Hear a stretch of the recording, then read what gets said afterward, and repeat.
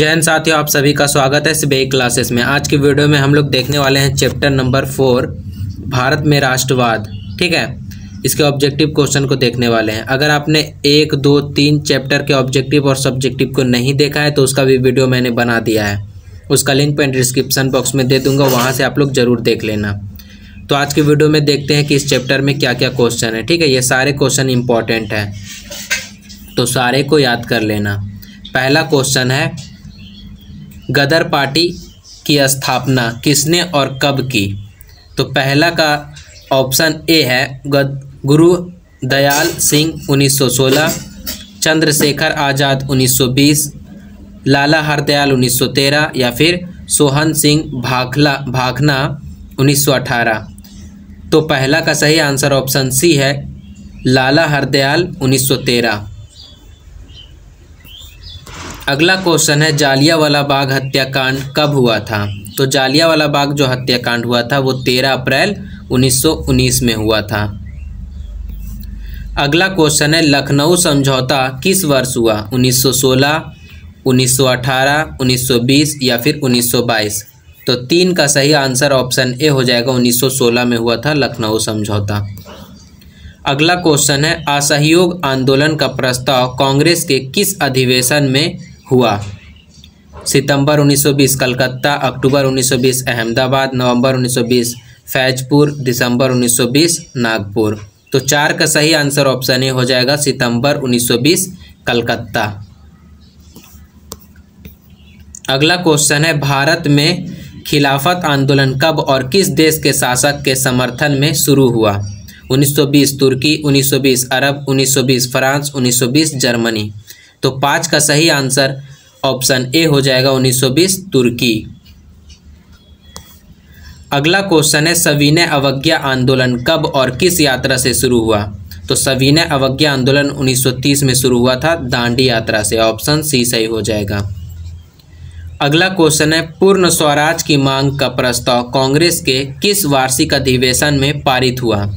उन्नीस सौ उनतीस, लाहौर। 1931 कराची 1933 कलकत्ता, उन्नीस बेलगांव।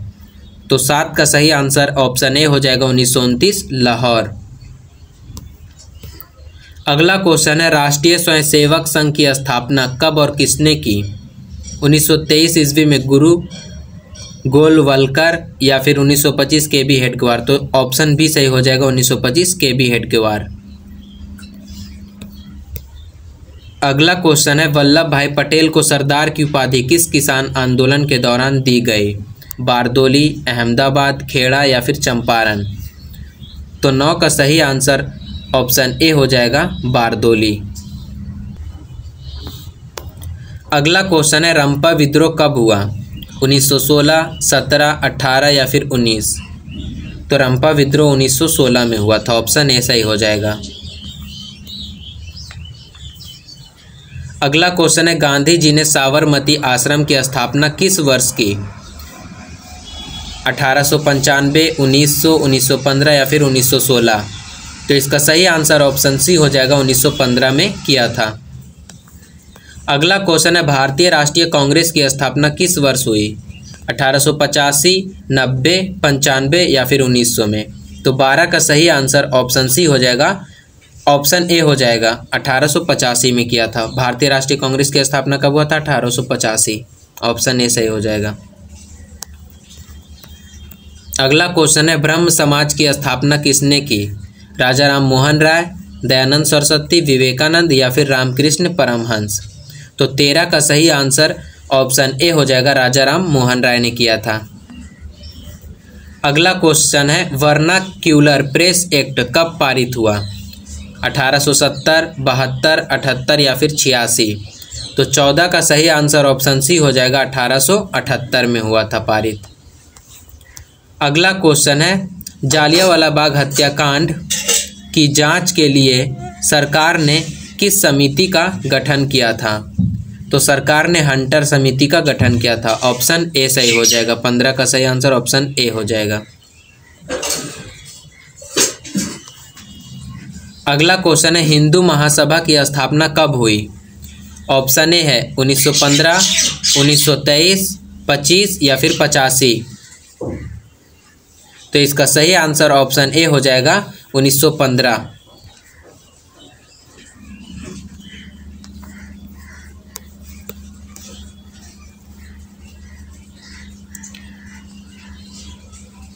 अगला क्वेश्चन है चौरी चौरा कांड के परिणाम स्वरूप महात्मा गांधी ने किस आंदोलन को वापस ले लिया? खिलाफत आंदोलन, असहयोग आंदोलन, सविनय वज्ञा आंदोलन या फिर भारत छोड़ो आंदोलन? तो इसका सही आंसर ऑप्शन बी हो जाएगा असहयोग आंदोलन। अगला क्वेश्चन है, स्वराज दल के अध्यक्ष कौन थे? मोतीलाल नेहरू, मदन मोहन मालवीय, जवाहरलाल नेहरू या फिर चितरंजन दास? तो 18 का सही आंसर ऑप्शन डी हो जाएगा चितरंजन दास। अगला क्वेश्चन है साइमन कमीशन किस वर्ष भारत आया? 1919, 1927, 28 या फिर 30 तो 19 का सही आंसर ऑप्शन सी हो जाएगा 1928 में आया था। अगला क्वेश्चन है महात्मा गांधी ने नमक कानून किस दिन भंग किया? 31 अक्टूबर उन्नीस दो मार्च 1930, 12 मार्च 1930, 6 अप्रैल 1930 तो 20 का सही आंसर ऑप्शन डी हो जाएगा 6 अप्रैल 1930 को किया था। अगला क्वेश्चन है 1932 ईस्वी में पूना समझौता किनके बीच हुआ था? महात्मा गांधी और अंबेडकर गांधी जी और जिन्ना गांधी जी और इरविन गांधी जी और मैकडोनाल्ड।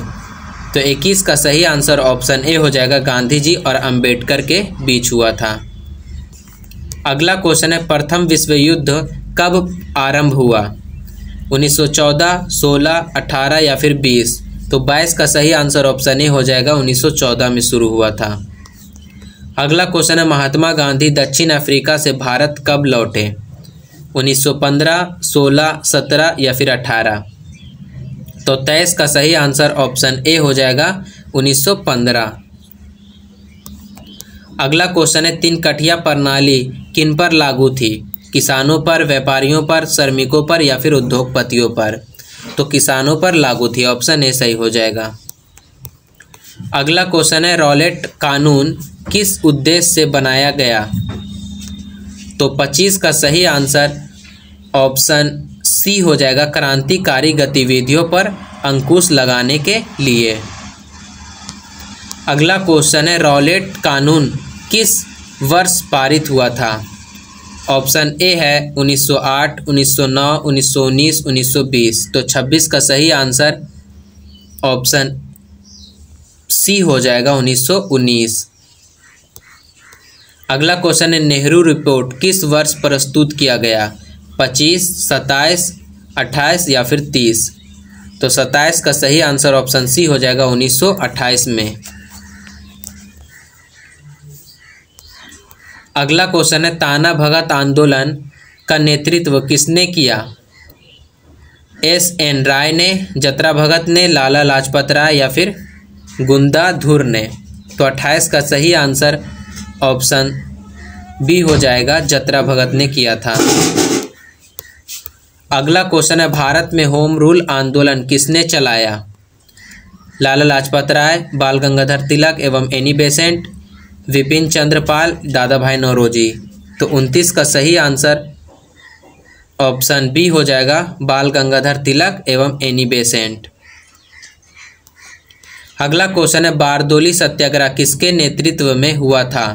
रविंद्रनाथ टैगोर, लाला लाजपत राय वल्लभ भाई पटेल या फिर बाल गंगाधर तिलक? तो तीस का सही आंसर ऑप्शन सी हो जाएगा वल्लभ भाई पटेल। अगला क्वेश्चन है, भारतीय राष्ट्रीय कांग्रेस के प्रथम अध्यक्ष कौन थे? महात्मा गांधी व्योमेश चंद्र बनर्जी, गोपाल कृष्ण गोखले दादा भाई नौरोजी। तो इकतीस का सही आंसर ऑप्शन बी हो जाएगा व्योमेश चंद्र बनर्जी। तो अब सारे क्वेश्चन हो गए हैं। ये सारे क्वेश्चन आपको याद कर लेना है।